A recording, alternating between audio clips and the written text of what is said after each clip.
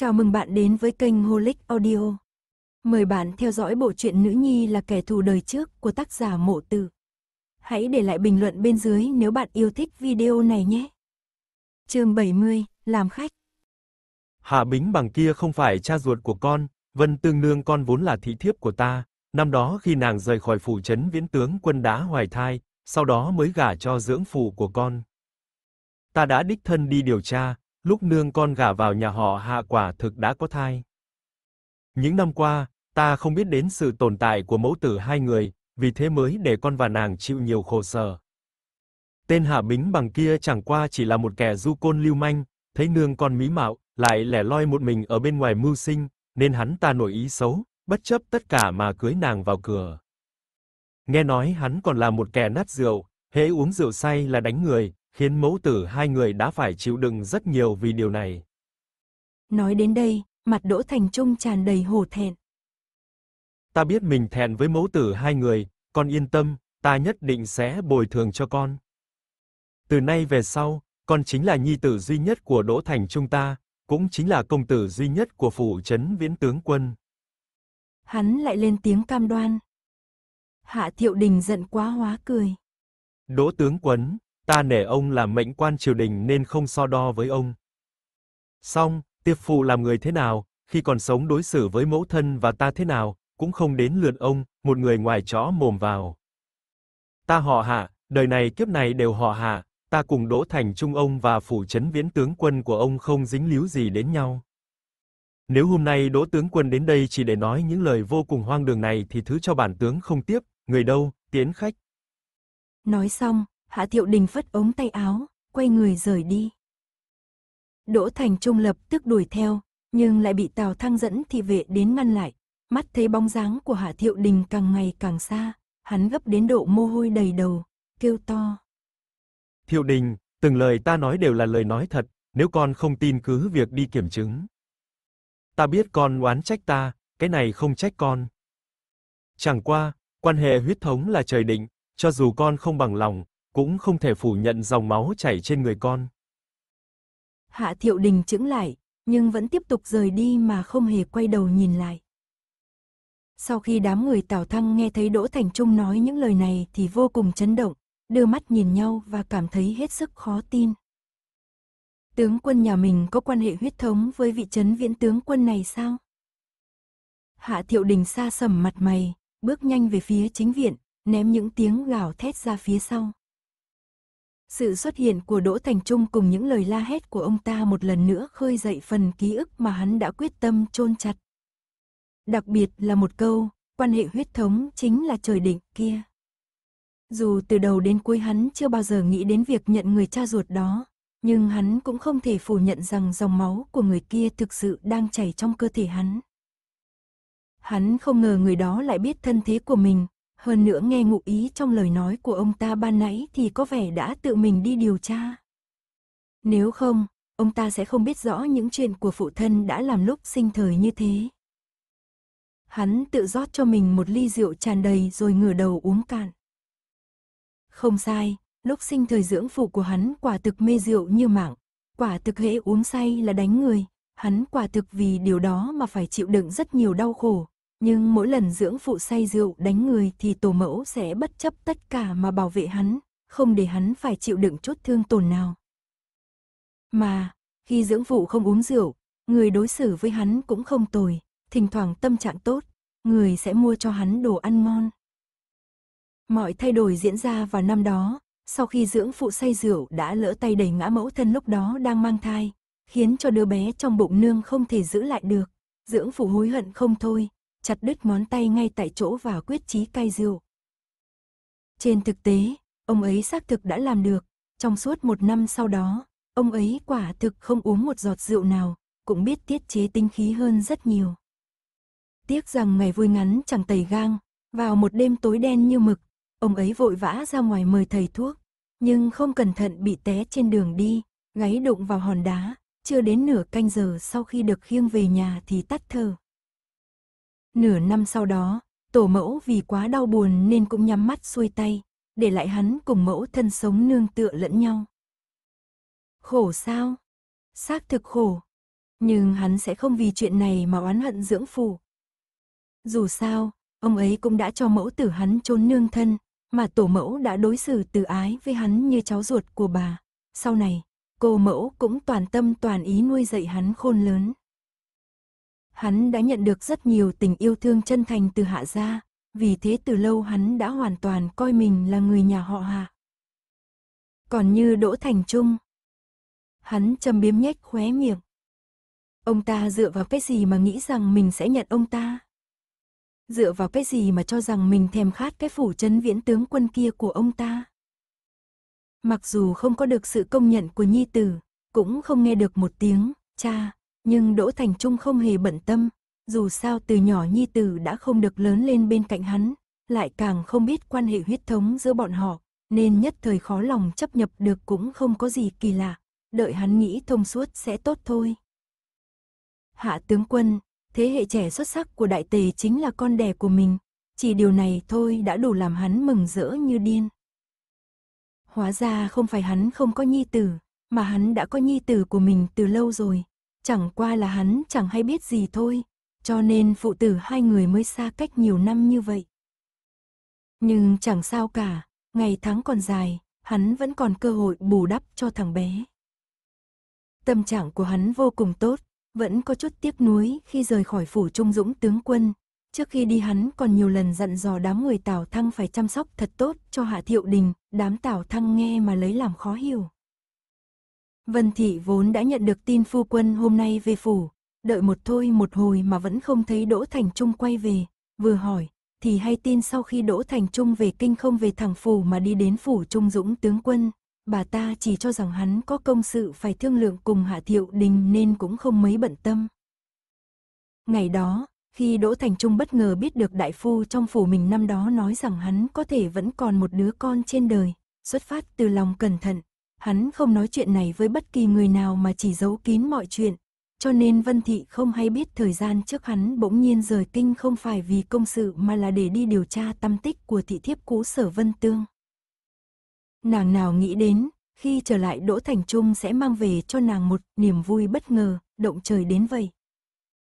Nàng gần như không dám tin những gì mình nghe được, trợn mắt hỏi Đỗ Thành Trung. Chàng nói cái gì? Trung Dũng tướng quân Hạ Thiệu Đình là cốt nhục ruột thịt của chàng. Quả thực là như thế, ta đã đích thân đi kiểm chứng rồi, Thiệu Đình là nhi tử của Vân Nhi. Vân Tương sinh cho ta năm đó, năm đó sau khi có thai Vân Tương cơ thể của nàng vô cùng yếu đuối, Ngọc Lan qua lại thân thiết với nàng ấy lo lắng nàng ấy sẽ không chịu được tán phá của thuốc, nên đã cầu xin dịch đại phu giúp đỡ, lấy thuốc giả thay thế hỏng lừa dối mọi người, từ đó bảo vệ Vân Tương cùng đứa con trong bụng nàng, cũng chính là Thiệu Đình. Nói đến đây, Hạ Thiệu Đình cảm thấy vô cùng may mắn. May mà năm đó Ngọc Lan xen chân vào, nếu không hắn phải mất đi một nhi tử xuất sắc như vậy rồi. Vân Thị nhìn vẻ mặt vui sướng của hắn, sắc mặt nàng ta tái mét, thật lâu không nói nên lời. Tiễn đi một đỗ tổ vọng, lại đón về một hạ thiệu đình, hơn nữa, kẻ đến sau này còn khó đối phó hơn kẻ đến trước. Đỗ Thành Trung không biết tâm tư của nàng, hắn đắm chìm trong niềm hân hoan khi cuối cùng cũng có nhi tử, dạo dực nói. Mọi người đều nói hổ phù không sinh khuyển tử, sao, thiệu đình còn trẻ mà đã có được thành tựu như ngày hôm nay, đủ để thấy lời này nói không ngoa. Nhi tử của Đỗ Thành Trung ta há lại là một kẻ thầm thường, không có trí tiến thủ. Sao, người cha có tài thì tất nhiên sẽ không sinh ra người con bất tài. Cũng chỉ có đứa con này mới xứng đáng làm nhi tử của Đỗ Thành Trung ta, mới giống người nhà họ Đỗ. Hắn không kiềm chế được mà cười ha ha, tiếng cười hết sức vui sướng, quét hết mọi u sầu trước đây. Đứng lúc Phùng Duy Lượng đi vào thỉnh An Vân Thị nghe vậy mặt mày biến sắc, trong lòng chấn động, hắn thậm chí còn hoài nghi liệu có phải mình nghe nhầm rồi không, những lời phụ thân nói có nghĩa khác. Hạ Thiệu Đình là nhi tử của phụ thân. Đích trường tử. Hắn không thể tưởng tượng nổi mà mở to hai mắt, thật sự hy vọng mình đã nghe lầm.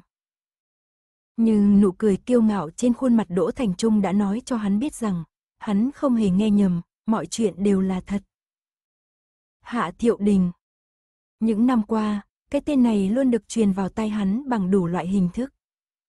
Các bậc cha chú khen hắn không dứt miệng, Thế hệ trẻ vừa hâm mộ hắn vừa đố kỵ hắn, các cô nương thì tôn sùng hắn, đến cả mổ cách tính tầm thường cũng coi hắn là thế hệ chiến thần mới của đại tề. Người này chính là bóng ma trong cuộc đời hắn. Cũng bởi vì lúc nhỏ đánh thua hắn ta một trận, tuy rằng phụ thân không nói, nhưng ông đã bày tỏ sự thất vọng bằng cách bảo mình chuyển võ sang văn. Ngay cả những thị vệ trong phủ, ai ai cũng nhìn hắn với ánh mắt như muốn nói rằng hắn không xứng làm đại công tử của phủ trấn viễn tướng quân. Ánh mắt ấy của bọn họ làm hắn xấu hổ và giận dữ không sao chịu nổi. Nếu không phải sau đó hắn đã có chuẩn bị trước, e rằng phụ thân đã sinh con với mẫu tân và thiếp thất khác từ lâu, đến lúc đó, trong phủ sẽ không còn chỗ đứng cho hắn nữa. Nếu không phải do Hạ Thiệu Đình, thì làm sao hắn có thể xuống tay với phụ thân, làm sao có thể cắt đứt cơ hội làm cha của ông ấy. Hết thảy mọi chuyện đều là do Hạ Thiệu Đình ban cho. Nhưng hắn cũng không ngờ rằng, chuyện đã qua nhiều năm, Hạ Thiệu Định lại dùng cách thức khác để làm loạn cuộc sống bình yên của hắn, thậm chí còn muốn tranh đoạt tất cả những gì thuộc về hắn. Những ngày sau đó, Đỗ Thành Trung nhiều lần tìm đến phủ Trung Dũng tướng quân, hôm nay còn mang theo tua kiếm mà Sở Vân Tương làm năm vì hắn năm đó. Đương nhiên, tua kiếm này được phát hiện một cách tình cờ khi hắn lục tung những chiếc dương, cũng là vết tích duy nhất mà những thê thiếp đó để lại từ sau khi Vân Thị gả vào phủ trấn viễn tướng quân. Con nhất định phải nhớ kỹ tay nghề của nương, tua kiếm này do chính ta nàng ấy làm cho cha sau khi cha ra trận trở về, đó cũng là chuyện của hơn 20 năm về trước rồi. Hắn thở dài thườn thượt, ngữ khí thoáng có chút hoài niệm. Vân Tương Nữ tử đó tính tình dịu dàng lại có vài phần gàn bướng, nàng chính là nữ tử duy nhất sau phu nhân hiện nay khiến hắn rung động, đã từng có lúc, hắn còn muốn cưới nàng làm thê.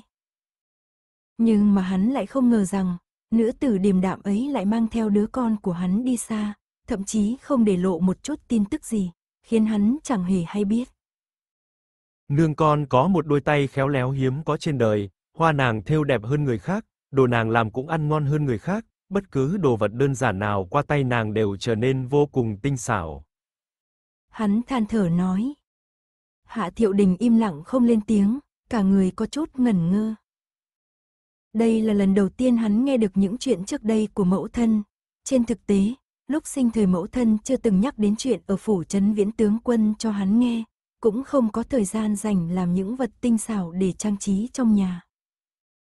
Bà ấy luôn luôn rất bận rộn, bận dệt vải, bận thiêu thùa đủ thứ để kiếm sống, và cũng bận đủ loại công việc trong ngoài nhà. Sau khi phụ thân và tổ mẫu mất, bà ấy càng bận bịu hơn, về cơ bản có rất ít thời gian để nghỉ ngơi.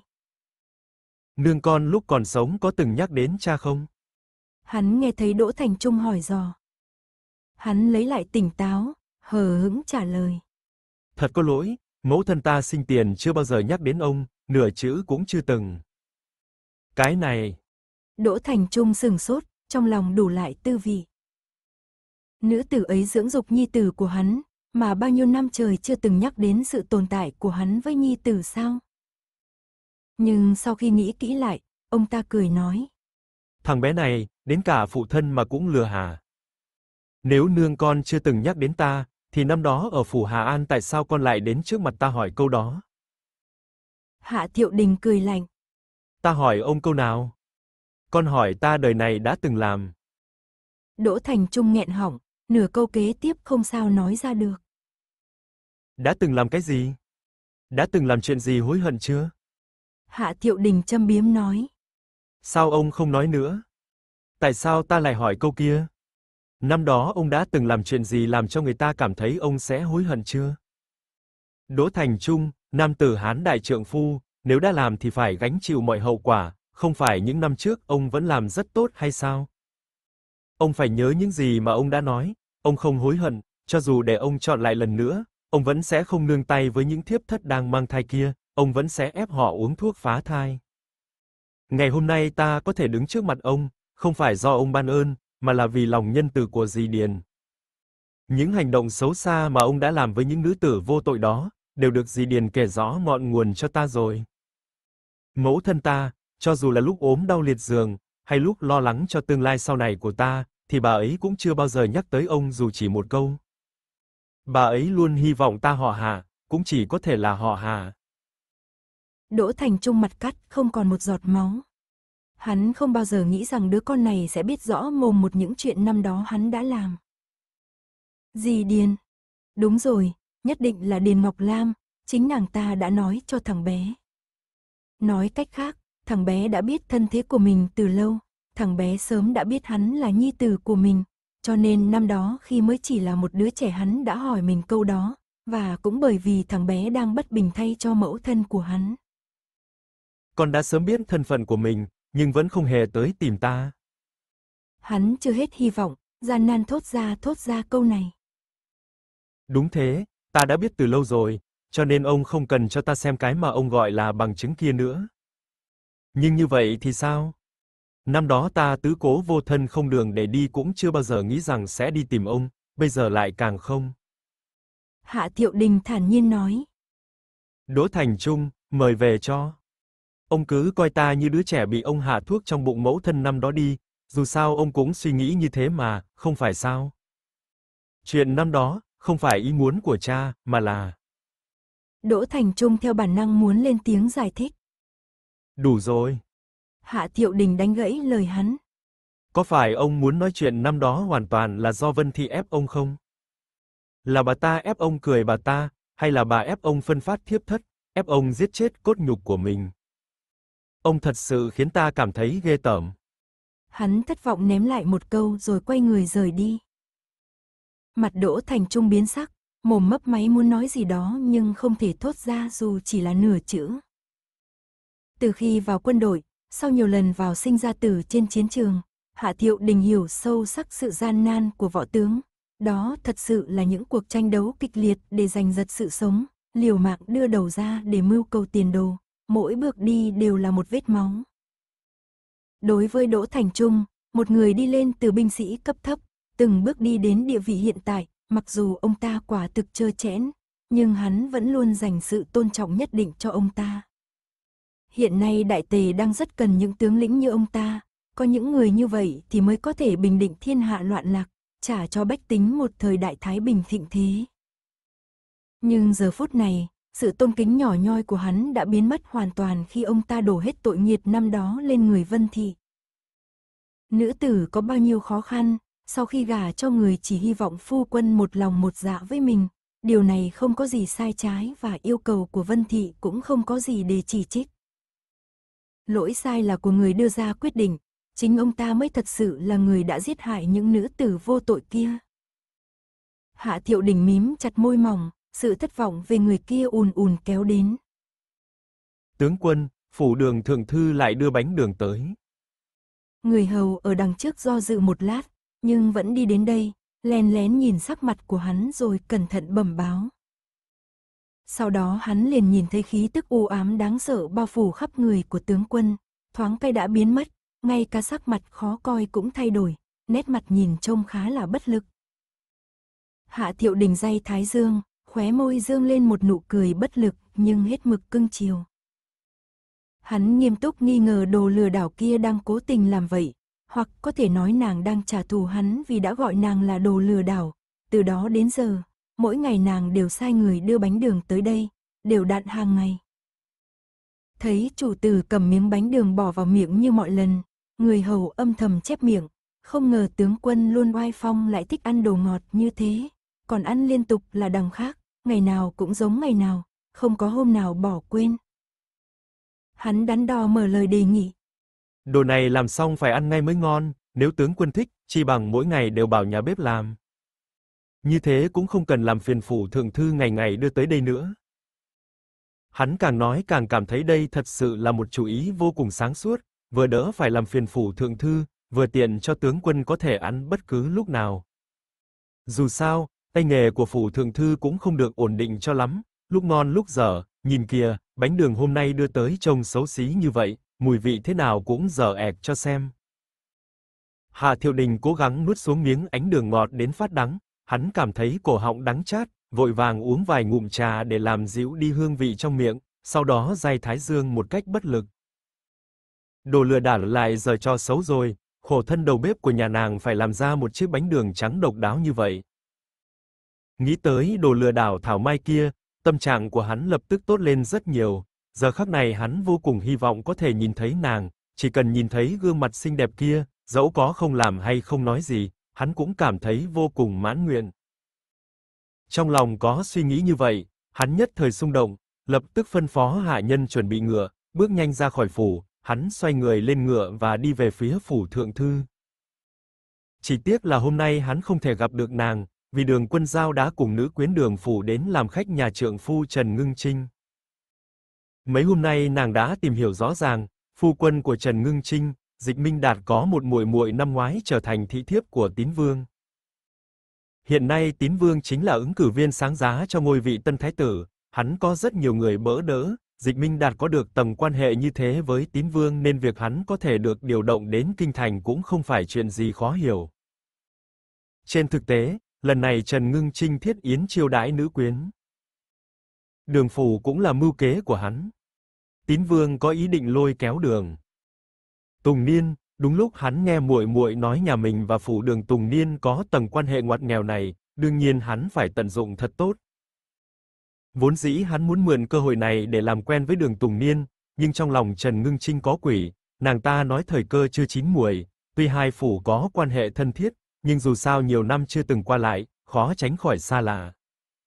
Chẳng bằng để nàng làm thân với nữ quyến của đường phủ trước, khi nào hai phủ qua lại thân thiết rồi hắn lấy danh nghĩa của lão gia để mời mấy huynh đệ đường Tùng Niên tới. Dịch Minh Đạt thoạt nghĩ cũng cảm thấy làm như vậy là tốt nhất, vì thế hắn lập tức vui vẻ đồng ý, cho nên mới cho chuyện Trần Ngưng Trinh thiết yến mời nữ quyến đường phủ này. Đường quân giao ngồi cạnh Nguyễn Thị, nhìn mẫu thân đang nói câu khách khí với Trần Ngưng Trinh, vẻ mặt của bà khiến người ta nhìn không ra điểm khác thường. Nàng ngầm ngật đầu, mấy năm nay mẫu thân cuối cùng đã trở nên lão luyện rồi. Nếu là tính tình trước đây của bà ấy, chỉ cần nhìn thấy Trần Ngưng Trinh năm đó đã từng lợi dụng thiện ý của bà hòng ngấp nghé phu quân của mình, e rằng bà không thể bình tĩnh lại được, chứ đừng nói là có thể đối xử với đối phương điềm nhiên như không. Lòng Trần Ngưng Trinh rối loạn, đặc biệt là khi nàng ta nhìn thấy khí cốt cáo mệnh phu nhân đoan trang quý phái của Nguyễn Thị, nàng ta cảm thấy rõ ràng mình mới là người vinh quang trở về, nhưng kết quả nàng ta vẫn giống như năm đó, vẫn phải khom lưng uốn gối nịnh nọt người này. Nhưng điều khiến nàng ta cảm thấy khó chịu chính là sự thay đổi thái độ của Lý Thị và Lâm Thị, đặc biệt là Lý Thị, sự nịnh bợ hiện rõ trên mặt bà ta. Nhiều năm không gặp, vài người chúng ta phải vui vẻ chuyện trò một phen mới được, chớ có câu thúc như những cô nương trẻ tuổi kia. Trần Ngưng Trinh mím nhẹ cánh môi, mỉm cười nói. Đám người lý thị tỏ vẻ sao cũng được. Đường quân giao không chút bận tâm cùng đường quân du và đường quân giao đi theo thị nữ đường phủ ra khỏi phòng khách. Thị nữ kia dẫn các nàng đi tới một nơi yên tĩnh trong vườn, đi được một đoạn, ôi chao, đường quân du hoảng sợ kêu lên, lập tức phân phó đường quân nhu vẫn luôn im lặng không nói không rằng. Ta làm rất khăn tay trong phòng khách rồi, muội quay về nhặt giúp rồi mang tới đây. Giọng điệu của nàng ta quá mức thản nhiên, còn đường quân nhu cũng đã tập mãi thành quen, vâng lời quay về luôn. Đường quân giao liếc khăn tay lộ ra trong tay áo nàng ta, tỉnh bơ rời ánh mắt đi, nàng cố nén sự khó chịu khi bị đường quân du nhiệt tình khoác cánh tay. Hoa lụa trên đầu tam muội muội đẹp quá đi, là đồ trong cung sao? Đường quân du tìm chuyện để nói. Nhị tỷ thật tinh mắt. Đường quân giao nhàn nhạt đáp lời. Đường quân du cũng không để ý, liên tục tìm chuyện để tán dóc với nàng. Qua một lát, nàng ta lại ôi trao một tiếng nữa. Đi lâu như thế ta mệt có chút mệt rồi, hay chúng ta tìm chỗ nào ngồi một lát đi? Tỷ tỷ quyết định là được. Đường quân du liếc mắt nhìn thị nữ kia, thị nữ kỳ khẽ gật đầu, nhẹ nhàng rời đi. Đường quân giao giả vờ không phát hiện ra, nàng tiếp tục đi trước đường quân du. Đi mãi đi mãi, đường quân du cố tình rớt lại phía sau vài bước. Đường quân giao lập tức cảnh giác, bình tĩnh quan sát xung quanh, đi qua một ngã rẽ, đột nhiên có một cánh tay vươn ra từ phía sau nàng, bịt chặt miệng mũi của nàng. Nàng giật nảy người, không chút nghĩ ngợi mà nắm lấy cổ tay của đối phương, nín thở đá mạnh vào người phía sau. Người nó không ngờ nàng lại mạnh mẽ như vậy, một bên đầu gối bị nàng đá trúng lập tức bụp khuỵu xuống đất. Đỗ Thành Trung là thằng đáng khinh. chương 71, xé rách. Đường quân giao thấy cơ hội không thể bỏ lỡ, lập tức lựa chỗ yếu ớt nhất trên cơ thể đối phương mà đánh đá túi bụi. Mấy năm trước, nàng đã cùng ngũ công chúa luyện roi một thời gian với các thị vệ do thiên hy đế lựa chọn, thế nên bản thân nàng đã có sẵn một nền tảng tập võ nhất định, không thể so sánh với những nữ tử mềm yếu bình thường. Lúc này, đối phương bị nàng bất ngờ đánh úp mà không hề phòng bị, nhờ đó nàng mới có thể đắc thủ. Nhân lúc người nọ đau đến nỗi ôm cơ thể còn quại trên đất, nàng nhanh chóng nhặt gói thuốc người nọ đánh rơi dưới đất lên, bắt trước cách hắn làm với mình lúc nãy mà dùng sức bịt chặt miệng mũi của hắn ta. Người nọ vùng vẫy kịch liệt vài cái, cuối cùng trong mắt khẽ đảo, cả người rơi vào trạng thái hôn mê. Ngay lập tức, đường quân giao cũng biết rõ công dụng của túi thuốc này là gì. Chợt cảm thấy đầu choáng mắt hoa, nàng vội vàng vịn vào thân cây bên cạnh, biết chắc mình đã vô tình hít phải thuốc trong túi. Mặc dù nàng kịp thời nín thở nhưng vẫn bị hít vào một ít, cộng thêm vừa nãy hoạt động mạnh, cho nên thuốc mới đột nhiên phát tác. Nàng thở hồn hển từng hơi, chốc lát, sau khi cảm giác đầu váng mắt hoa qua đi, nàng mới xoa cái chán đẫm mồ hôi của mình, cau mày nhìn về phía người đang hôn mê trên đất. Đó là một nam tử gầy bé, quần áo gọn gàng được làm bằng vải thô, vẻ ngoài xấu xí, nàng dám chắc mình chưa bao giờ nhìn thấy người này. Này, được chưa thế? Nàng ta đã hôn mê chưa?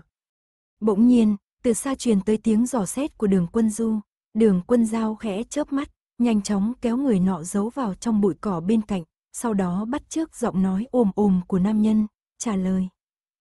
Đã ngất rồi, tiếp theo nên làm thế nào? Ngu xuẩn, nếu đã ngất rồi thì mau chóng cõng người tới hiên ỉ mai trước mặt, công tử nhà người chắc cũng sắp tới rồi đó. Giọng nói của đường quân du càng lúc càng gần, chẳng bao lâu, đường quân giao đã thấy nàng ta bước ra từ góc ngoặt với khuôn mặt khó chịu, nhưng khi nhìn thấy nàng đứng thong thả trước mắt thì sắc mặt nàng ta lập tức đột biến. Sao, Hiên, phòng đọc sách. Muội, muội, muội. Đường Quân Du chưa bao giờ nghĩ rằng mọi chuyện lại xảy ra đến bước đường này. Nàng ta vốn cho rằng Đường Quân Giao đã hôn mê, nay chẳng khác gì cá nằm trên thớt, nào ngờ bây giờ lại bình yên vô sự đứng trước mặt nàng. Hiên ỉm mai à? Ta hiểu rồi. Đường Quân Giao nở một nụ cười đầy ẩn ý. Không đợi nàng ta kịp phản ứng, nàng đã đột nhiên lao tới, bắt chéo hai tay nàng ta ra sau lưng rồi trói lại thật chặt. Thừa dịp nàng ta sắp mở mồm hét mà nhanh chóng lấy túi thuốc bịt chặt vào mồm nàng ta. Đường quân du liên tục dẫy rụa rồi ngất lịm đi. Đường quân giao lập tức cõng nàng ta bước nhanh về phía hiên ỉ mai cách đó không xa, sau đó dùng chân đá văng cánh cửa, không chút nghĩ ngợi bỏ nàng ta lên chiếc giường ở trong phòng, thay vì lau cây chán lấm tấm mồ hôi, nàng nhanh chóng lật người nàng ta lại, để nàng ta đưa lưng về cánh cửa, sau đó gấp rút rời đi. Nàng tìm một nơi khá khuất và nhìn chằm chằm về phía cửa phòng. Nàng muốn nhìn xem vị công tử sẽ đến chỗ này rốt cuộc là nhân vật thế nào. Chưa đến 15 phút sau, xuyên qua những nhành hoa phủ kín người, nàng thật sự nhìn thấy một bóng người có phần quen thuộc xuất hiện trước mắt mình. Người nọ vụng trộm nhìn khắp bốn phương tám hướng, sau khi phát hiện xung quanh không có một bóng người mới bước nhanh về phía hiên ỉ lan, hắn đẩy cửa phòng sau đó khép hờ lại, gión ra gión rén đi vào trong. Đường quân giao đã thấy rõ tướng mạo của người tới, người nọ không phải ai khác mà chính là Trần Triệu Dũng. Việc đến nước này nàng đã hiểu rõ mọi chuyện, mặt lập tức lạnh đi. Chẳng bao lâu, nàng trông thấy Trần Ngưng Trinh và Lý Thị Hớt Hải chạy tới, lại nghe thấy tiếng kêu sợ hãi của Trần Triệu Dũng từ trong hiên ỉ mai truyền ra, vẻ mặt của đám người Trần Ngưng Trinh biến đổi, ba chân bốn cẳng bước nhanh vào trong, đúng lúc đụng phải Trần Triệu Dũng hiện đang hoảng loạn, quần áo trên người không chỉnh tề. Dũng ca, cháu kêu cái quỷ gì thế? Thấy cháu mình thất thố như vậy, Trần Ngưng Trinh không vui quá.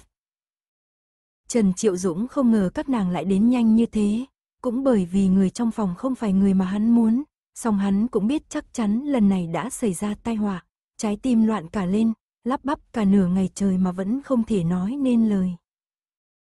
Nguyễn Thị lo lắng cho nữ nhi nên dẫu dầu tiến lên, bà quăng cho hắn một ánh mắt nghiêm khắc, rồi đẩy hắn một cái thật mạnh, sau đó mới nhấc váy xông vào phòng. Trong mắt Lý Thị lóe lên vẻ khoái trá, một bên vờ vĩnh kêu, tam đệ muội chớ lo lắng, giao nha đầu chắc chắn không có chuyện gì đâu, một bên bước nhanh theo sau Nguyễn Thị đi vào trong. Lâm Thị thì hoàn toàn ngược lại, bà ấy có chút do dự, không biết có nên theo họ vào trong chuyện gì xảy ra hay không. Nghĩ đi nghĩ lại, suy cho cùng bên trong cũng là cô nương của đường phủ, xuất thân từ nhà họ đường, bà cũng phải đi xem rốt cuộc đã xảy ra chuyện gì. Sau khi nghĩ rõ ràng, lúc bà đang định rào bước vào cửa thì nghe thấy tiếng thét chói tai của Lý Thị từ trong phòng truyền ra. Chỉ trong chốc lát, Lý Thị chạy từ bên trong ra như người điên, bà ta túm lất quần áo của Trần Triệu Dũng vừa khóc lóc vừa chửi rủa, đánh đấm điên cuồng. Xúc sinh, ngươi là tên xúc sinh, ngươi là tên xúc sinh, sao ngươi có thể làm ra chuyện không bằng xúc sinh như thế? Xúc sinh, ta phải đánh chết ngươi, tên xúc sinh này. Trần Triệu Dũng ôm đầu tránh những nắm đấm của ả ta, cũng không dám đánh trả chút nào, xong nửa ngày sau, trên người hắn phủ đầy những vết thương, khuôn mặt bị móng tay của Lý Thị cào mấy vết thật dài, vết nào cũng dỉ máu. Được rồi đó biểu tẩu, đừng đánh nữa, chuyện đến nước này có đánh cũng vô ích, nếu còn ầm ý nữa há chẳng phải để mọi người đều biết cả sao. Trần Ngưng Trinh bất chấp khó khăn mà tiến lên ngăn cản. Sự căm phẫn của Lý Thị trực tiếp phun lên đầy mặt nàng ta. Các ngươi đều đã sắp đặt hết rồi, tất cả đều đã được sắp đặt cả rồi, từ lúc bắt đầu các ngươi đã muốn tính kế ta, tính kế quân du của ta. Các ngươi không yên phận, uổng công những năm qua lão gia nhà ta vẫn luôn đối xử tử tế với các ngươi, các ngươi báo đáp ông ấy như thế sao? Lý Thị càng nói càng cáu, bà ta vừa khóc vừa xông lên giật thật mạnh tóc của Trần Ngưng Trinh. Trần Ngưng Trinh không hề đề phòng nên bị bà ta giật tới nỗi kêu lên, oai oái, trong chốc lát, hiện trường loạn như cào cào. Đường quân giao hời hợt chứng kiến cảnh tượng trước mặt, và nàng cũng không hề bỏ sót nửa bóng người ló ra từ góc đối diện, nhìn kỹ hơn, nàng nhận ra người đang đứng ở phía bên kia chính là đường quân nhu, hơn nữa nàng còn trông thấy niềm hân hoan thoáng qua trên khuôn mặt của đường quan nhu. Đường quân du ở trong phòng cuối cùng cũng từ từ mới hai mắt ra, nàng ta nghe thấy tiếng ầm ĩ ở bên ngoài thì nhớ ngay đến những chuyện đã xảy ra trước khi bị hôn mê, sắc mặt thoát cái biến đổi, lâm thị thương hại mà giúp nàng ta vén tóc mai, dịu giọng nói. Du nha đầu đáng thương, nào ngờ lại gặp phải một kẻ vong ân bội nghĩa. Thật đúng là ngày phòng đêm phòng nhưng trộm trong nhà khó phòng. Không ngờ rằng Dũng ca lại làm ra chuyện không bằng xúc sinh như thế này.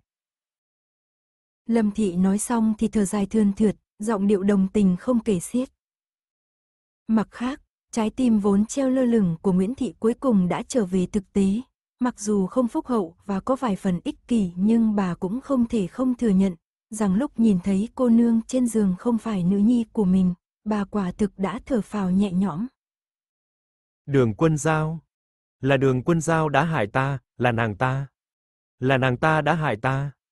Đường quân nhu thấy trên người mình lộn xộn thì hét lên như điên. Cho dù phải chết, nàng cũng phải kéo đường quân giao làm đệm lưng. Ban đầu, khi nhìn thấy nàng ta bỗng nhiên kêu gào Nguyễn Thị vốn định bịt mồm nàng ta lại để tránh nàng ta làm dày chuyện ra đến mức không thể thu dọn được. Xong sau khi nghe thấy nàng ta hét lên câu kia, bà lập tức sầm mặt xuống, nghiêm nghị quát. Cháu kéo loạn cái gì? Đang yên lành sao bảo nha phải hại cháu? Con bé và cháu trước kia không oán gần đây không thù, xưa nay con bé cũng chẳng qua lại với Dũng ca, nếu cháu định kéo con bé xuống vũng nước tanh này, dù ta có phải liều cái mạng này cũng sẽ không tha cho cháu đâu. Một người vốn luôn hiền lành bỗng nổi cơn thịnh nộ, cơn chấn động đột phát trong nháy mắt, khiến người ta nhất thời câm như hến. Là nàng ta, chính là nàng ta, là nàng ta đã hại ta, chính là nàng ta. Đường quân nhu sợ tới nỗi sắc mặt trắng bệnh, nhưng ngay sau đó lại điên cuồng hét lên. Nguyễn Thị lao lên tát nàng ta một cái thật mạnh, mạnh đến nỗi là mặt nàng ta lệch sang một bên, ngay sau đó bà nắm chặt lấy cổ áo của nàng ta, ánh mắt uy nghiêm mà đáng sợ. Ngươi nghĩ rằng ta không biết âm mưu của ngươi sao? Là ngươi và tên Trần Triệu Dũng kia hợp mưu muốn tính kế nữ nhi của ta, chỉ không ngờ rằng hai ngươi lại tự làm tự chịu. Bây giờ ngươi còn muốn hất nước bẩn lên nữ nhi ta ư? Ta nói cho ngươi biết, ngươi cứ việc gào thét to lên, cứ việc vu oan giá hỏa. Ta thật muốn nhìn xem, đến lúc đó ai mới trở thành trò cười cho cả kinh thành, ai mới là người bị người đời chỉ chỉ trò trò. Lâm Thị bất ngờ khẽ nhếch miệng lên, như thể bà ấy không nhận ra người em dâu vốn có tính cách mềm yếu trước mặt mình. Ngươi muốn làm cái gì? Đúng lúc Lý Thị đi vào, khi thấy Nguyễn Thị nắm chặt cổ áo nữ nhi thì lập tức xông đến kéo bà ra, bảo vệ nữ nhi ở phía sau, rồi trừng mắt nhìn bà ấy đầy cảnh giác, sau đó lại nhìn về phía nữ nhi. Lúc nãy bà ta làm gì con? Nàng ta đánh con à? Đường quân du chỉ nghẹn ngào nức nở, một câu cũng không nói. Nguyễn Như, Lý Thị nhìn hầm hầm Nguyễn Thị. ngươi ước hiếp người quá đáng. Nếu ta là ngươi, điều quan trọng nhất bây giờ là xin dịch đại phu giúp giấu kín chuyện này. Nếu như các ngươi vẫn thích ầm ý thì cứ việc ầm ý đến khi chuyện này lan truyền ra ngoài, ta hầu tới cùng. Nguyễn Thị nói từng chữ một, ánh mắt sắc nhọn nhìn chằm chằm đường quân du ở phía sau ả ta, giọng điệu đầy đe dọa. Lâm Thị thấy thế cuối cùng cũng lên tiếng khuyên giải. Đại tẩu, tam đệ muội nói chí phải, điều quan trọng trước mắt là đừng để chuyện này trở nên quá ầm ĩ. Nếu làm ầm ra ngoài, chẳng phải người chịu thiện vẫn chỉ là du nha đầu sao? Lúc này Lý Thị cũng nhìn ra điều bất thường của Nguyễn Thị, cuối cùng cũng không dám làm quá chuyện lên, thật sự đắc tội với người ta. Đường quân giao không vào hóng chuyện, nàng đứng ở ngoài một lúc, sau khi lại liếc mắt nhìn về phía đường quân nhu đang nấu mình, sau đó đi về phía phòng khách như không có chuyện gì xảy ra. Đi được một đoạn, đường quân nhu cũng đi từ bên kia ra, thấy nàng thì cũng làm như không biết chuyện gì xảy ra, cười nói. Tam muội, các muội khó tìm quá đấy. Nhị muội đâu rồi? Sao không thấy muội ấy? Khóe miệng đường quân giao khẽ cong lên. Chẳng phải lúc nãy đại tỷ đã nhìn thấy ở hiên ỉ mai rồi sao? Sắc mặt đường quân nhu cuối cùng cũng biến đổi, nụ cười trở nên miễn cưỡng cứng nhắc, ánh mắt dao động. Tỷ không biết muội đang nói gì, chắc là tam muội nhìn nhầm rồi, tỷ có đến hiên ỉ mai đâu. Đại tỷ nói với muội những lời này cũng vô ích thôi, tỷ phải tự mình đi giải thích với đại bá mẫu mới đúng. Giải thích với bà ấy rằng, làm sao tỷ lại biết nhị tỷ và Trần Triệu Dũng hợp mưu muốn tính kế muội, tỷ nghĩ hay là mình tương kế tự kế tác hợp cho bọn họ. Làm như vậy, đại phòng sẽ không còn đối thủ mạnh như nhị tỷ, sẽ không còn ai tranh giành mối hôn sự tốt với tỷ nữa. Và lại, dịch đại phu và đám đại bá mẫu đến nhanh được như thế chắc hẳn là chuyện tốt do tỷ đã làm nhỉ. Dẫu sao, một khi Trần Triệu Dũng phát hiện ra người trong phòng không phải là người mà hắn ta nghĩ thì kiểu gì cũng nhanh chóng rời đi, đến lúc đó dịch đại phu và những người khác đến muộn sẽ không thể tóm được nguyên hình. Đương nhiên, nếu Trần Triệu Dũng nghĩ miếng thịt béo đưa đến mồm mà không ăn thì thật lãng phí, nên hắn thuận nước đẩy thuyền hoàn thành chuyện tốt của nhị tỷ, như thế đương nhiên sẽ ổn thỏa cả thôi, dù sao chẳng có việc gì chấn động bằng bắt kẻ gian dâm trên giường cả. Đại tỷ nói xem có đúng hay không? Đường quân giao cười tít mắt nói. Thấy sắc mặt đường quân nhu dần dần nhợt nhạt, ánh mắt vừa kinh hoàng vừa sợ hãi không dám nhìn thẳng vào mắt nàng, đường quân giao biết mình đã đoán đúng. Tỷ vốn định mặc kệ đường quân du làm mất lòng ta, làm mất lòng tam phòng, đến lúc đó tỷ sẽ đến trước mặt nương ta và ta biểu diễn một màn thân thiết biết điều, tiện thể nói chân tướng mà tỷ, vô tình, phát hiện ra cho mẹ con chúng ta, để chúng ta căm hận đường quân du đến cùng cực.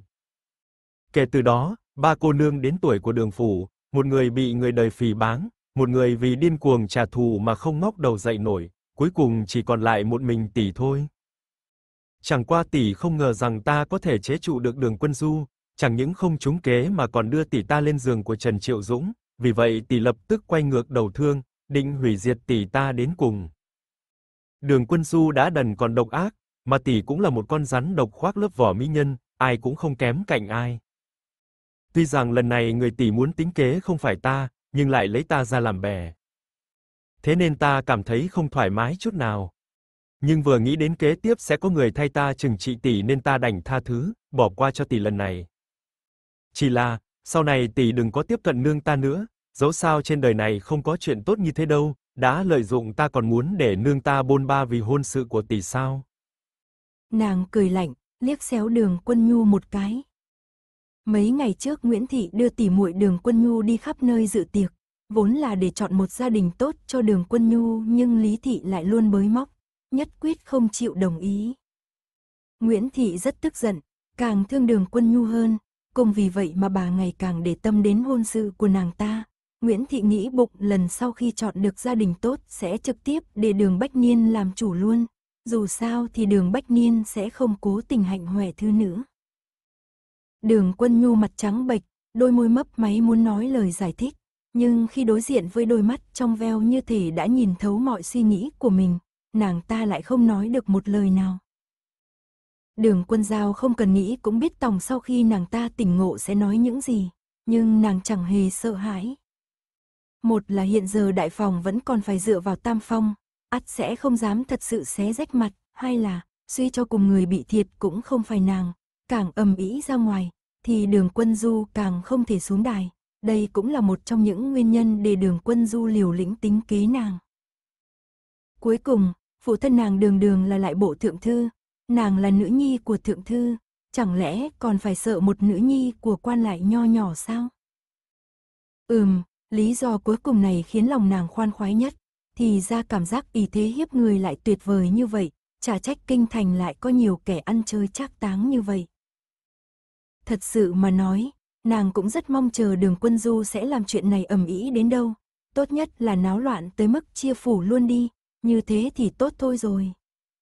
Nhưng nàng cũng biết, với tính cách của đường Bách Niên thì khả năng là rất nhỏ, với tính cách của ông ta kiểu gì cũng đóng gói nữ nhi đưa thẳng đến Trần Phủ, và cũng sẽ không đồng ý chia phủ. Hai người đang nói chuyện thì đường quân giao trông thấy Nguyễn Thị đi qua đây với vẻ mặt buồn bực, nàng hơi sừng sốt, vội vàng lên đón. Nương, xảy ra chuyện gì vậy à? Không sao, bảo nha, chúng ta về trước thôi. Nguyễn Thị kéo tay nữ nhi, cố gắng đè nén cơn tức giận trong lòng mà nhẹ giọng nói. Tam thẩm. Đường quân nhu do dự tiến lên, khẽ gọi. Ai ngờ tam thẩm xưa nay đối xử dịu dàng từ ái với nàng lại lạnh lùng liếc nàng một cái, bà ngoảnh mặt làm ngơ mà kéo nữ nhi đi lướt qua người nàng. Nàng ta ngơ ngác dõi theo bóng dáng hai mẹ con nỏ, xoắn chặt chiếc khăn trong tay lúc nào không hay. Xem ra, sau này tam thẩm sẽ không đưa nàng đi làm quen với quý nhân nữa.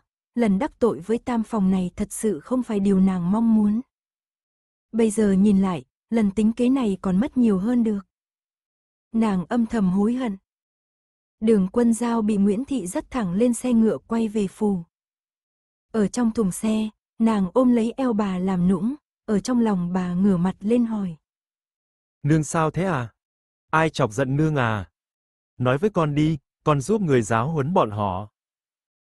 Nguyễn Thị xoa nhẹ khuôn mặt của nữ nhi, trong lòng nghĩ lại mà sợ. Cũng may nữ nhi cơ trí, nếu không hôm nay người chịu thiệt sẽ là con bé mất. Nếu quả thật để con bé bị Trần Triệu Dũng cưỡng hiếp dưới tầm mắt mình, nàng cũng không biết mình sẽ làm ra chuyện điên cuồng gì nữa. Sau này còn cách xa hai bị tỷ tỷ kia ra nhé, không làm mất mặt hai đứa nó quá là được rồi, không cần tiếp xúc quá nhiều. Mặt bà bình tĩnh, khẽ căn dặn nữ nhi. Đường quân giao hơi nhớn lông mày, biết rằng chắc hẳn bà ấy cũng đã biết chân tướng của chuyện này, nàng lấy làm ngạc nhiên xong cũng cảm thấy yên lòng. Vâng ạ. Nàng không chút do dự mà gật đầu ưng thuận, cũng không hề hỏi bà đã xảy ra chuyện gì. Nguyễn Thị xoa đầu nữ nhi, nghĩ đến đường quân nhu cũng sắm vai trong chuyện này khiến lòng bà rất khó chịu. Bà cũng khá tận tâm với đứa nhỏ kia, cũng thương tiếc cho con bé khi một tiểu cô nương phải sinh sống khó khăn dưới quyền của đích mẫu. Những năm gần đây bà vẫn luôn cố gắng hết sức để chủ tính hôn sự cho con bé, nhưng bây giờ bà lại phát hiện ra, có lẽ tiểu cô nương này không hề đơn giản. Còn về con bé của đại phòng, bà cười nhạt, đó cũng là do bị chiều hư mà ra, cộng thêm một Trần Triệu Dũng, một kẻ cũng bị chiều hư đến nỗi không biết trời cao đất dày. Bà muốn nhìn xem hai kẻ này hợp lại thì tương lai chúng sẽ sống như thế nào. Đường quân giao tựa vào vòng tay mềm mại thơm dịu của mẫu thân, nàng nghĩ tới sự lạnh lùng của Nguyễn Thị khi đối mặt với đường quân nhu khi nãy. Nàng biết có lẽ bà ấy cũng đã đoán được chân tướng, cho nên mới tức giận như vậy, trong lòng nàng lập tức trở nên ngọt ngào. Cảm giác được người che chở thật tốt, nàng vừa không cần nghĩ ngợi nhiều, cũng không cần phải lo lắng, chỉ cần tiếp tục làm đường tam cô nương ngây thơ không dành thế sự là được. Xe ngựa chạy nhanh về phủ thượng thư, trong lúc lơ đãng vén rèm xe nhìn ra ngoài đường quân giao bất ngờ bắt gặp bóng dáng quen thuộc của Hạ Thiệu Đình. người đó đang mặc trường bào màu tràm đơn giản, tuy rằng lặng lẽ chắp tay sau lưng mà đứng ở góc tường khuất bóng, nhưng chàng vẫn như trăng sáng trên trời, khắp người tỏa ra ánh sáng rực rỡ say lòng người, lập tức đã thu hút tầm mắt của nàng. Trong mắt nàng xoay chuyển, khoác tay Nguyễn Thị đi một đoạn, sau đó nũng nịu tìm một cái cớ, lén lút chuồn ra ngoài từ cửa hông. Ban đầu, Hạ Thiệu Đình vì xung động muốn gặp đồ lừa nên mới đến, nhưng khi đến cửa đường phủ lại phát hiện thân phận của mình không thích hợp để hiên ngang đến đây tìm cô nương nhà người ta như vậy. Nhưng hắn lại không muốn rời đi như thế, chỉ cần nghĩ tới bây giờ có thể Đỗ Thành Trung đang ở trong phủ mình là hắn lại cảm thấy khó chịu, vì vậy hắn cũng không rời đi ngay, mà chỉ dắt ngựa đứng dưới chân tường say xưa suy nghĩ. Chỉ cần nghĩ đến bên trong bức tường trước mặt có đồ lừa đảo xinh đẹp động lòng người của hắn, thì trái tim rối rắm của hắn thoát cai đã bình tĩnh lại. Cũng không biết hắn đã đứng bao lâu mới thở dài trầm thấp một tiếng. Lúc hắn đang nắm dây cương xoay người chuẩn bị rời đi, thì đột nhiên phát hiện ra phía sau mình có người đang lặng lẽ đến gần, hắn lập tức cảnh giác, nhân lúc người nọ sắp chạm vào lưng mình thì hắn bất ngờ bắt lấy cổ tay của người tới, chỉ nghe một tiếng, ai ôi, lệ khí trên người hắn đã lập tức biến mất, Hạ Thiệu Đình vừa ngạc nhiên vừa vui mừng gọi.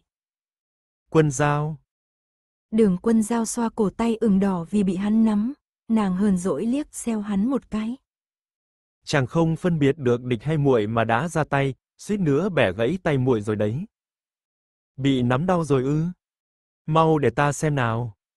Hạ Thiệu Đình thoạt nghe đã sốt ruột cả lên, hắn vội vàng kéo tay nàng nhìn kỹ một phen, thấy trên cổ tay trắng nõn quả nhiên xuất hiện vệt tròn màu đỏ thì vô cùng xót xa. Xin lỗi, là ta không đúng. Đường quân giao nhìn hắn cười khanh khách, sau khi thưởng thức vẻ phiền muội của, nàng nói. Không đau rồi không đau rồi, đình ca, chàng đến tìm muội à. Đã nhận được bánh ngọt muội tặng chàng chưa? Thích không? Hạ Thiệu Đình vẫn móc lọ thuốc lần trước nàng tặng mình ra và nhất quyết bôi lên vết đỏ kia, nghe nàng hỏi vậy thì thấp giọng cười ra tiếng. Đồ lừa đảo, nàng cố ý đúng không? Muội cố ý gì cơ? Đường quân giao nhìn hắn đầy vô tội.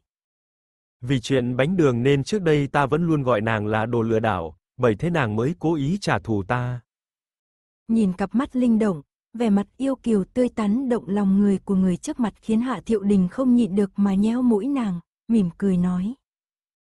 Đường quân giao quở. Xem chàng nói kìa, nếu muội muốn trả thù chàng thì cần gì phải tự mình xuống bếp làm bánh đường cho chàng chứ?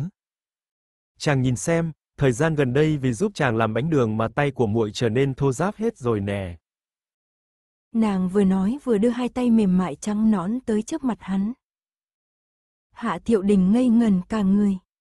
Số bánh đường đó đều là nàng tự tay làm sao? Đường quân giao hiếm khi xấu hổ đỏ mặt, nói ly nhí như tiếng mũi. Mấy cái hình thù đẹp đều là nhà bếp làm, còn những cái hình thù không được đẹp lắm mới là muội làm. Nhưng mà chàng yên tâm, bây giờ muội đã học được rồi, làm cũng đẹp hơn trước đấy rất nhiều, đến cả người hay gây hấn như Châu ca cũng khen muội có tiến bộ hơn. Nói một thôi một hồi, nàng cũng cảm thấy có chút đắc chí, đôi mắt long lanh chớp chớp, khuôn mặt đỏ mừng mang theo vẻ chờ mong, trên trán dường như hiện ra ba chữ, mau khen muội đi. Trong nháy mắt, Hạ Thiệu Đình vừa cảm thấy có một dòng nước ấm tuôn trào trong tim, lại như thể có người nào đó đang ôm lấy trái tim mình. Đó là cảm giác được lấp đầy và sưởi ấm, cảm giác làm mũi hắn bỗng nhiên cảm thấy chua xót. Hắn cố gắng kìm nén ham muốn được ôm nàng vào lòng. Chương 72, song hồn. Thế nào thế nào? Có phải muội rất giỏi giang không? Đường Quân giao mặt mày hớn hở hỏi. Hạ Thiệu Đình cười nhẹ, tương đối hợp tác mà gật đầu. Phải rồi, Quân giao thật sự rất giỏi giang. Lời vừa dứt, hắn liền nhìn thấy nàng cười đến nỗi cặp mắt xinh đẹp cong thành hai vầng trăng non. Đình ca, sao chàng không gọi muội là Bảo Nha nữa? Ngày trước rõ ràng chàng vẫn còn gọi muội là Bảo Nha mà. Lát sau, hắn lại nghe thấy nàng không vui hỏi. Hắn hơi giật mình, tại sao không gọi nhũ danh của nàng? Tất nhiên là bởi vì nàng đã lớn rồi, hắn lại là ngoại nam, sao, nên đương nhiên không tiện gọi thân mật như vậy nữa. Chẳng qua, đó chỉ là ý nghĩ trước đây của hắn mà thôi, còn bây giờ đã không nghĩ vậy nữa, hắn sẽ không để mình trở thành ngoại nam của nàng. Sao, ngoại nam, nam nhân xa lạ bên ngoài, không có quan hệ gia đình, vợ chồng. Bảo nha. Hắn mỉm cười gọi. Bấy giờ đường quân giao cuối cùng đã vừa lòng, đôi môi nàng mím lại làm lúm đồng tiền mê người nhảy ra diễu võ dương oai. Hạ thiệu đình thấy mà ngứa ngáy đầu ngón tay vô cùng, hắn thật muốn vươn tay chọc vào cái lúm ấy. Thiệu đình. Nụ cười trên khuôn mặt hắn ngay lập tức biến mất khi nghe thấy giọng nói ở phía sau. Đường quân giao nhận thấy sự thay đổi trong thái độ của hắn, nàng đưa ánh mắt nghi ngờ về phía Đỗ Thành Trung đang đi tới đây, rồi lại nhìn sang vẻ mặt thoát cái trở nên khá khó coi của Hạ Thiệu Đình, lòng nàng đầy khó hiểu. Đỗ tướng quân. Nàng bình tĩnh lại, nhìn Đỗ tướng quân cất tiếng chào. Đỗ Thành Trung cau mày nhìn nàng, vẻ mặt có chút không vui, nói đầy hàm ý. Đường cô nương dù sao cũng là tiểu thư khuê các, vẫn nên bớt phóng túng một chút mới tốt. Đỗ tướng quân, ông quản quá nhiều rồi đấy. Hạ Thiệu Đình bước lên phía trước bảo vệ đường quân giao ở phía sau, bất mãn nói. Ta cũng chỉ lo nghĩ cho con thôi. Đủ rồi, ta không cần. Hạ Thiệu Đình thấp giọng cắt ngang lớn ông ta, hít một hơi thật sâu và cố gắng để giọng nói của mình trở nên ôn hòa. Bảo nha, nàng về trước đi. Đường quân giao phát hiện ra giữa hai người họ dường như có gì đó không bình thường, chỉ là trong chốc lát nàng không thể hiểu rõ được nguyên nhân bên trong, nhưng khi nhìn thấy sắc mặt không tốt của hắn, nàng không yên lòng mà nhìn hắn. Con mắt xinh đẹp tràn đầy lo lắng đã hâm nóng tâm trạng vốn đang trở nên tồi tệ của Hạ Thiệu Đình, hắn biết nàng không yên tâm về mình, vì thế dịu giọng nói. Nàng không cần lo lắng, ta không sao, nàng quay về đi. Đường quân giao thấy thế cũng chỉ có thể gập đồng nghe theo, sau khi lén lút chừng mắt nhìn Đỗ Thành Trung, nàng mới nhấc váy quay người rời đi. Nàng vừa đi được vài bước đã nghe thấy giọng nói có chút đắng chát của Đỗ Thành Trung. Thiệu Đình, dù sao ta cũng là phụ thân của con. Phụ thân.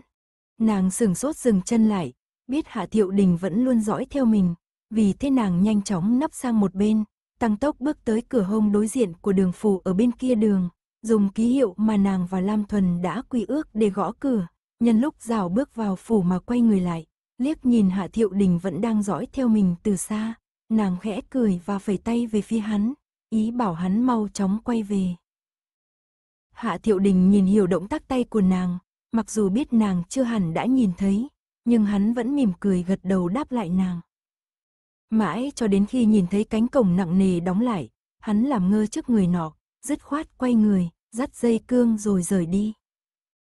Thiệu đình, con hãy nghe phụ thân nói một lời. Tuy đường cô nương tốt, nhưng nàng ta không thích hợp với con.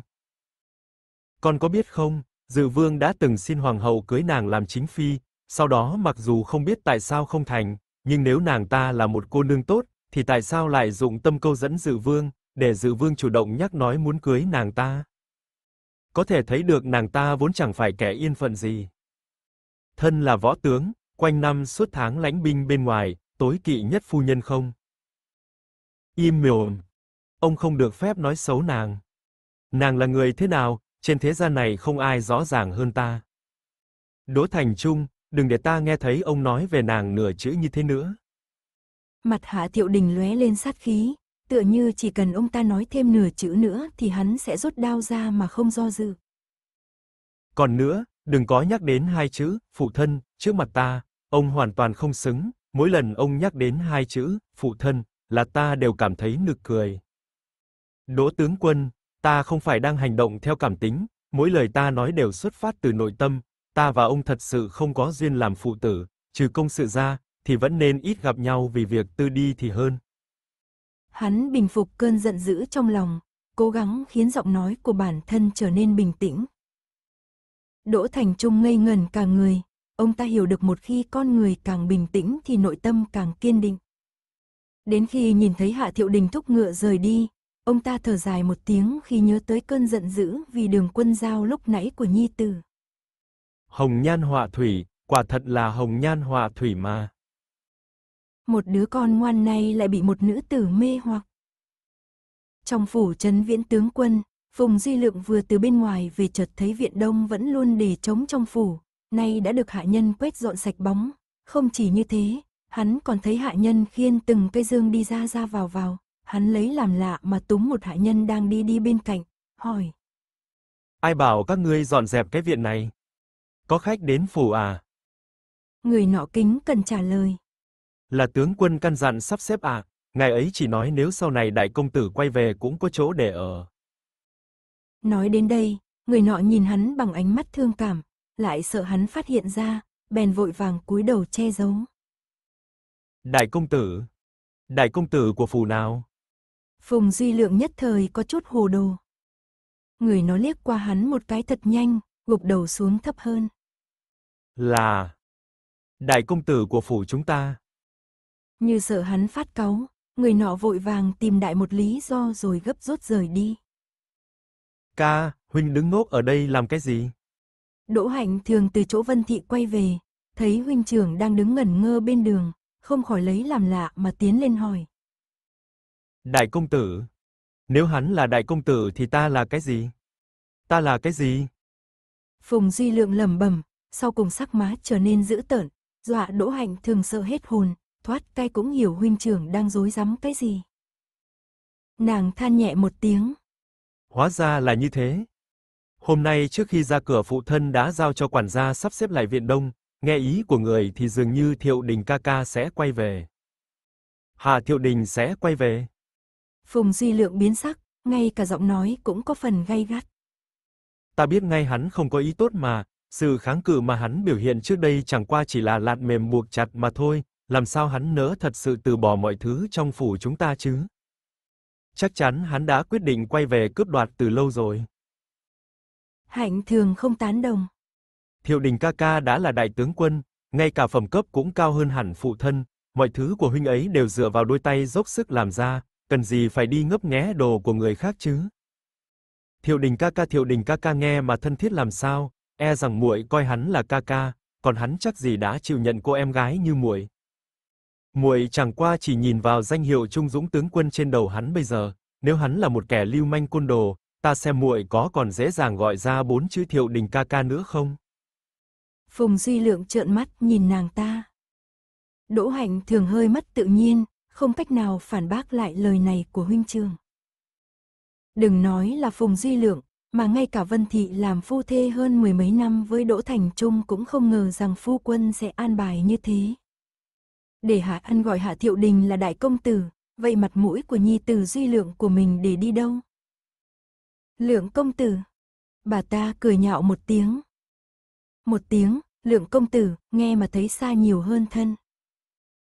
Tuy Duy Lượng không phải đứa con ruột thịt của ông ta, nhưng những năm qua thằng bé vẫn luôn tôn kính, quan tâm ông ta như phụ thân ruột thịt, không ngờ kết quả lại không ngang bằng một kẻ cùng chung huyết thống, làm cho thằng bé bây giờ trở thành trò cười cho bọn hạ nhân trong phủ.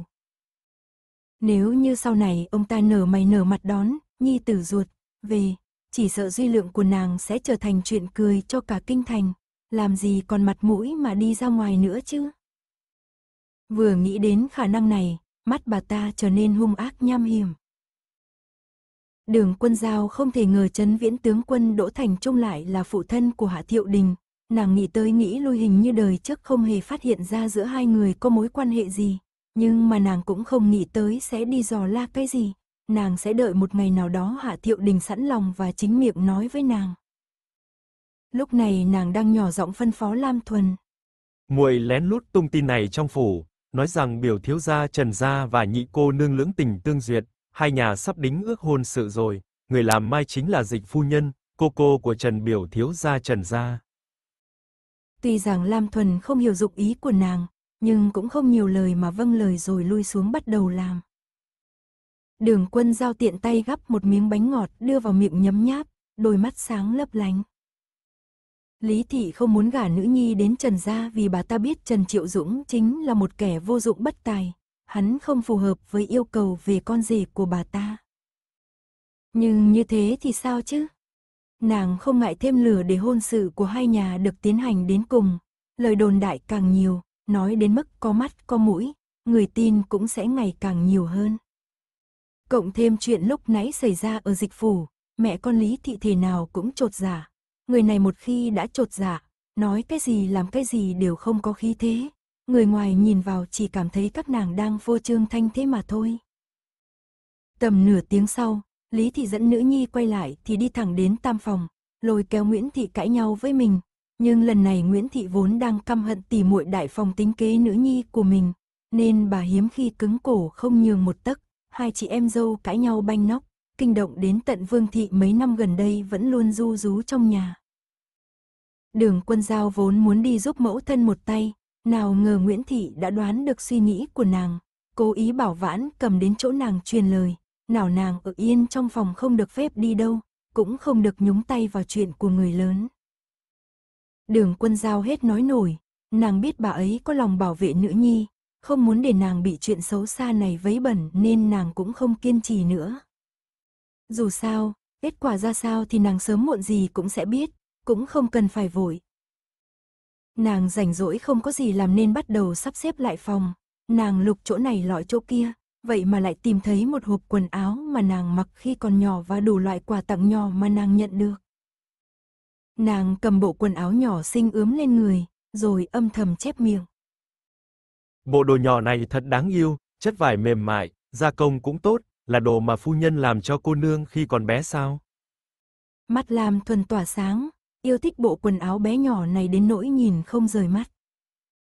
Đa phần đều là nương làm, có vài bộ là tổ mẫu làm, cũng có vài cái là Bích Văn và Thúy Văn làm. Đường quân giao nhớ rõ ràng và chỉ vào từng bộ quần áo nhỏ và giải thích. Cô nương đỉnh ghê, chuyện từ lúc còn bé mà có thể nhớ rõ ràng như thế. Mặt Lam Thuần đầy sùng bái nói. Đường quân giao cười gượng vài tiếng, lòng thầm nghĩ, đương nhiên là nhớ rõ rồi. Dù sao thì khi đó bên trong nàng cũng không phải là một đứa bé mới sinh, ngây thơ không biết chuyện gì. Sợ nhà đầu ngốc này sẽ tiếp tục hỏi chuyện hồi nhỏ, vì thế nàng chỉ bừa. Lam Thuần, lấy cái hộp kia về đây cho ta xem.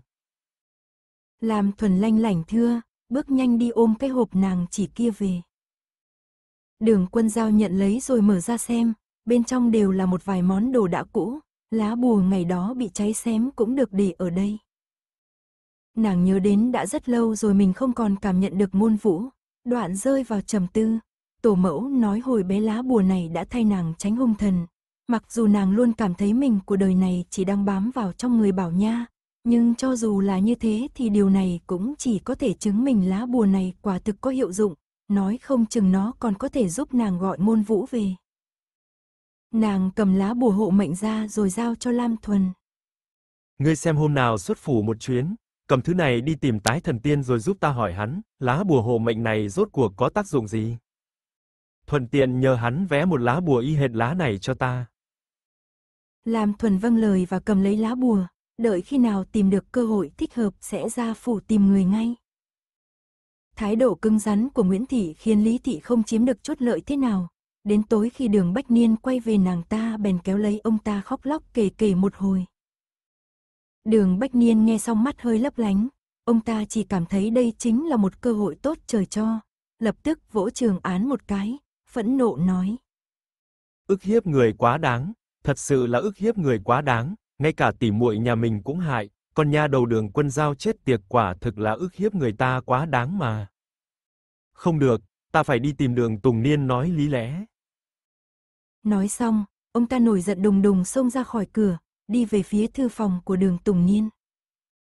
Đường Tùng Niên từ trong cung mới về, vừa thay xong thường phục và đang nhấp ngụm trà nóng thì trông thấy đường Bách Niên hùng hổ xông vào. Ông xua tay với người hầu đang nối gót đường Bách Niên muốn ngăn ông ta lại, tỏ ý không sao, bấy giờ mới hỏi. Đại ca có chuyện gì? Ta hỏi đệ, nữ nhi bảo nha của đệ tính kế hạ độc để hãm hại danh dự của nữ nhi ta, chuyện này đệ có quản hay không? Đường Bách Niên tức giận chất vấn. Đường Tùng Niên kinh ngạc, nhưng không tin lời từ phía ông ta. Nữ nhi của ông có tính cách thế nào chẳng lẽ bản thân ông còn không biết sao? Mặc dù tính có hơi mạnh bảo, nhưng từ trước đến nay con bé không phải kiểu người chủ động khơi chuyện với người khác. Hắn lăn lộn ở quan trường đã nhiều năm, nên thoạt nhìn đã nhận ra ngay đường Bách Niên đến đây đòi lại công đạo cho nữ nhi là giả, e rằng còn có toan tính khác.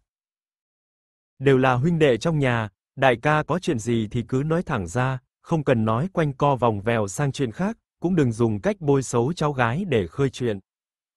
Đại ca phải biết tính khí của ta chứ, Bảo Nha chính là viên minh châu trên tay ta, cũng là vảy ngược của ta, nếu ai dám động đến nửa cọng lông tơ của con bé, dẫu có liều cả cái mạng này thì ta cũng sẽ khiến hắn ta phải trả giá. Thế nên, xin đại ca hãy ăn nói cẩn thận. Ông bình tĩnh nói.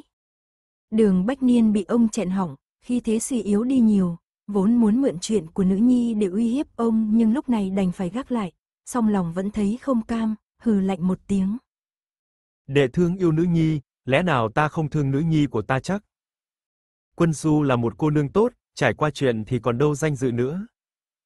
Thằng khốn Dũng ca làm sao xứng với nữ nhi của ta? Nếu không nhờ chuyện tốt mà nữ nhi bảo bối của đệ làm thì tại sao quân Du lại rơi vào tình cảnh gian nan như bây giờ? Thấy sắc mặt đường Tùng Niên trầm xuống, sợ đệ đệ sẽ thật sự tức giận khiến dự định của mình đổ bể, ông ta vội vàng nói. Không phải ta vu tội cho cháu gái nhà mình, nếu đệ không tin cứ việc về phòng hỏi tam đệ muội. Đường Tùng Niên thấy ông ta nói có bài bản, như thể chuyện này là sự thật, lòng đâm ra nghi ngờ, âm thầm quyết định chờ lát nữa sẽ đi hỏi xem có chuyện gì xảy ra. Đại ca yên tâm, đệ sẽ hỏi cho ra nhé. Phải hay không phải, tự ta sẽ cho huynh câu trả lời rõ ràng. Ông thong thả nói. Đương nhiên ta sẽ không lấy chuyện này ra để đe dọa đệ. Ngừng một lát, đường Bách Niên mới nói ra mục đích ông ta đến đây chuyến này. Nghe nói huyện lệnh An Phong đã đủ nhiệm kỳ, nên vị trí huyện lệnh An Phong sẽ bỏ trống. Với tư lịch, sao, của đại ca đệ một chức huyện lệnh này ta có thể gánh vác được, bây giờ đệ đã là lại bộ thượng thư quyền cao chức trọng, có lẽ thay vì huynh thu xếp chức quan này cũng không có gì to tát. Sao, tư lịch, tư cách và sự từng trải. Đường Tùng Niên cảm thấy tức cười. Huyện An Phong là vùng ngoại ô của kinh thành, tuy chỗ đó không lớn nhưng tương đối chủ phú, lại còn là nơi dưới chân thiên tử, có biết bao tướng soái quan lớn nguyện ý hạ thấp phẩm cấp để nhậm chức huyện lệnh của huyện An Phong. Thế mà trong mắt vị huynh trưởng tốt này của ông đó chẳng qua chỉ là một chức huyện lệnh không quan trọng, mà mình có thể tùy ý giúp ông ta thu xếp. Chi Châu Thông Châu, Thứ Sử An Dương, Chi Phủ Nhữ Lăng, Tân Khoa Trạng Nguyên, tính đến nay chỉ ít đã có bốn vị này tới xin đệ cái chức, huyện lệnh còn con, này, đại ca cho rằng bản thân mình có tài cán, nhân mạch cao hơn bốn vị này sao? Đường Bách Niên sững sờ. Đường Tùng Niên lắc đầu. Đại ca có lòng tiến thủ là chuyện tốt, chỉ là chuyện gì cũng cần phải làm đến nơi đến chốn. Quả thực huyện An Phong là một chỗ tốt, nhưng người nhìn chằm chằm vào nó không ít đâu, một khi đi sai bước nhầm, sức ép phải chịu chắc chắn sẽ gấp mấy lần các châu huyện khác. Đại ca chỉ cần an tâm vững dạ làm việc, rồi sẽ có một ngày đạt được mong muốn trong lòng. Cả Hoài Hưng cũng thế, khoa thi mới cũng sắp bắt đầu rồi, nhưng gần đây đệ ít khi thấy hắn ôn tập bài vở, lúc nào rảnh rỗi cũng chạy a ngoài, như thế làm sao mà được. Đại ca cũng nên quản chặt thằng bé một chút mới tốt. Sắc mặt đường Bách Niên khá khó coi, nói ra nói vào không phải là không bằng lòng, không muốn để mình ngóc đầu dậy, sợ rằng sau này mình sẽ đè ép hắn sao. Ý của đệ là, trước huyện lệnh của huyện An Phong không đến lượt ta đúng không? Ông ta sầm mặt nói. Với tư lịch của đại ca thì quả thực không đủ trình độ. Được, ta hiểu rồi. Đường Bách Niên mặt mày âm trầm, biết mưu tính của mình không thành, lại không dám giở trò xấu hay thói ngang ngược với đệ đệ, chỉ có thể trợn mắt nhìn hắn chừng chừng, đoạn quay người bước đi. Mấy hôm sau, tiền thị đến cửa cầu thân thay cháu trai Trần Triệu Dũng của mình, người bà ta cầu đương nhiên chính là đường quân du, vị cô nương đã có, thân mật ra thịt với cháu trai của bà ta, lý thị nào dám không chịu đồng ý, nhưng lại tức sôi máu khi nghĩ đến nữ nhi bị thiệt thòi mà không thể lấy được một chút đền bù nào từ tam phòng, cuối cùng cũng chỉ có thể bất chấp tất cả mà chỉ vào tiền thị mắng.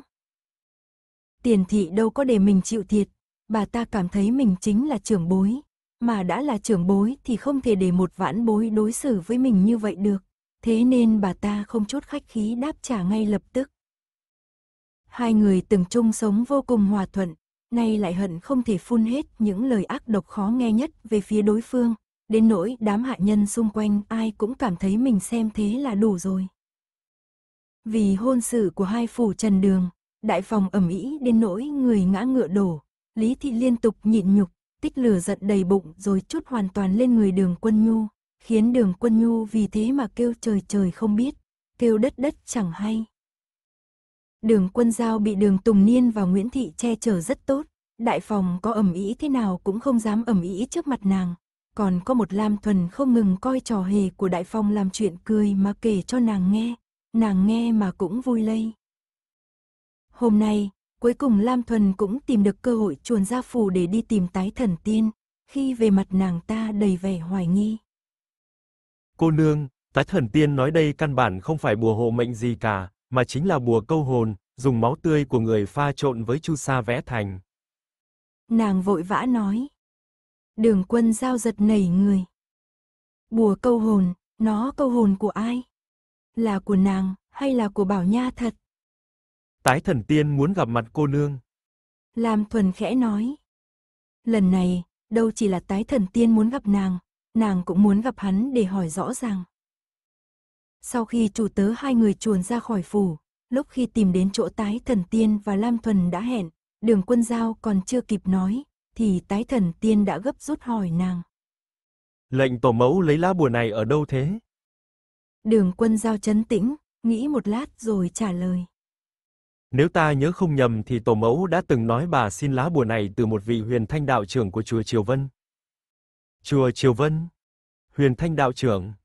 Tái thần tiên cau mày, không nhớ được một nhân vật số một như vậy, hắn khẽ hỏi tiếp. Cô nương đã nghe nói đến, di hồn tục mệnh, sao, bao giờ chưa? Sao, chuyển đổi linh hồn để kéo dài, tiếp tục sinh mệnh. Lòng đường quân giao chấn động mãnh liệt, nhưng vẫn bình tĩnh trả lời. Đã thấy trong tiểu thuyết, nói về người sau khi chết gặp được cơ duyên trùng hợp, linh hồn sẽ dán lên cơ thể của người vừa chết và sống lại trong thân phận của đối phương. Sao, cơ duyên, duyên may đã được định sẵn, theo quan niệm duy tâm. Tái thần tiên gật đầu. Chuyện này cũng không sai biết lắm, nhưng lá bùa này còn độc ác hơn, nó cưỡng chế, trói buộc hồn của người sống và truyền hồn của một người gần chết khác vào cơ thể của người sống, sau đó hồn của người gần chết sẽ cùng tồn tại trong một cơ thể với hồn phách của nguyên chủ. Sắc mặt đường quân giao trở nên trắng bệch, run giọng hỏi. Mục đích của việc làm này là gì? Đương nhiên là để kéo dài mệnh cách của nguyên chủ rồi. Cô nương cần phải biết rằng, mệnh cách của người từ khi sinh ra đã được định sẵn, lấy hồn làm chủ, hồn định mệnh cách. Sau khi một người chết đi, cho dù hồn phách gặp được cơ duyên trùng hợp với thể xác của người khác, thì cái mà nó kéo dài cũng chỉ là mệnh cách của chính người đó, chứ không phải là mệnh cách của người bị hắn chiếm dụng thân thể. Có câu thường dùng thế này, chim sẻ chính là chim sẻ, cho dù bay lên cành cao cũng không thể thành phượng hoàng. Đầu đường quân giao trống rỗng, nàng không biết vì sao mình lại nghĩ đến ngôn vũ, nữ quỷ, có vẻ ngoài giống hệt mình đời trước. Nàng ta còn biết nhiều chuyện bí mật đời trước của nàng, thậm chí đến cả, nằm mơ, cũng có thể mơ thấy những chuyện mà đời trước nàng đã trải qua. Nàng cố gắng giữ cho giọng nói của mình không bị run rẩy kịch liệt. Nếu đã là một thể hai hồn, vậy bên nào làm chủ? Sắc mặt tái thần tiên dần dần trở nên khó coi. Lúc đầu đương nhiên là hồn mới vào làm chủ, dù sao nó cũng là người nghĩ đến cách này, còn linh hồn của nguyên chủ chắc chắc đã tương đối yếu đuối. Chỉ là... Hắn hít một hơi thật sâu, chậm rãi nói. Chỉ là, cô nương phải biết là, cơ thể của người và hồn của người chính là một trọi một, cơ thể giống như một gian phòng được cố ý tạo ra cho hồn. Hồn phách của nguyên chủ có yếu đuối thế nào, thì mọi thứ trong cơ thể đều sinh ra vì nó. Tân chủ có mạnh đến đâu thì cũng không có khả năng hoàn toàn thích ứng với, gian phòng, không vừa vặn với mình. Năm này qua tháng nọ, kẻ yếu trở nên mạnh, kẻ mạnh biến yếu, cho đến cuối cùng, kẻ mạnh, đã biến yếu kia sẽ bị cưỡng chế đuổi đi. Cơ thể đường quân giao không ngừng run rẩy, nhưng vẫn gắng hỏi. Thế sau khi đuổi đi thì sao? Đương nhiên sẽ hồn phi phách tán, cuối cùng biến mất khỏi thế gian. Đường quân giao chỉ cảm thấy cổ họng giống như bị người nào đó bóp chặt, khiến hô hấp cũng cảm thấy thật khó khăn. Sau một hồi lâu, nàng vẫn hỏi dành mạch từng chữ. Thế, hai hồn cùng tồn tại trong một cơ thể có thể cảm nhận được sự tồn tại của đối phương không? Chủ nhân vẫn đang ở trong tất nhiên sẽ biết được có kẻ đột nhập, nhưng hầu hết, Kẻ đột nhập sẽ cho rằng đây là gian, phòng chống, không có chủ, chưa hẳn đã biết được sự tồn tại của đối phương. Phần này đến đây là hết. Mời các bạn theo dõi tiếp các video khác trên kênh. Nếu các bạn yêu thích kênh, hãy nhấn theo dõi nhé. Cảm ơn các bạn.